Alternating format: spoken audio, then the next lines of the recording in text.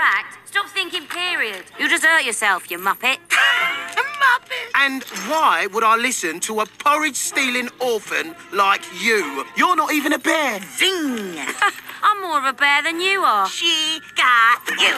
You're nothing but a low-rent Cinderella. Oh! Well, that's rich coming from you, baby. Because you know what you are? Wait for it. You're a daft, fat, slow thinking, no reading, Lyme disease, flea ridden, dingleberry bear. I haven't No, you do. You do have 'em.